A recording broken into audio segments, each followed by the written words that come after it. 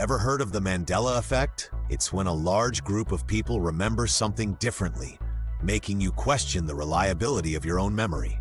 Struggling to focus in a noisy room? The cocktail party effect shows how your brain can tune into a single conversation while ignoring all the background chatter. Feel like you're living the same day twice? Deja vu is that eerie sensation where a new experience feels strangely familiar, leaving your mind puzzled.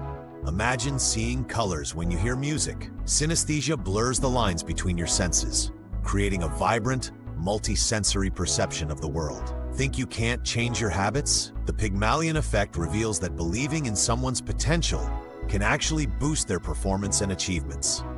Ever feel like an imposter in your own life? Imposter syndrome makes high achievers doubt their accomplishments, fearing they'll be exposed as frauds despite evidence to the contrary. Can your mind convince your body to heal? The placebo effect demonstrates how believing in a treatment's power can trigger real physiological changes, even if the treatment is fake. Why do strangers sometimes help you instantly? The bystander effect explains the surprising way people are more likely to assist in emergencies when fewer people are around, shifting responsibility in the crowd.